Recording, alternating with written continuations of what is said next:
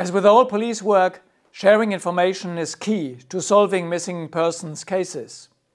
Operation Identify Me is a reminder that information that can help crack open a cold case can come from anywhere in the world.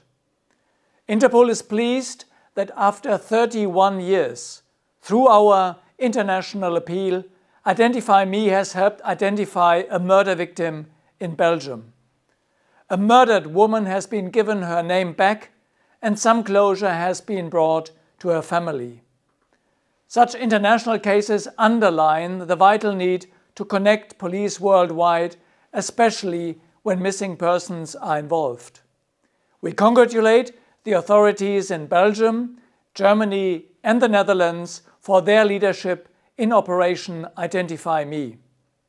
It is important work that continues. We still need your help to identify the other victims. Someone somewhere knows something.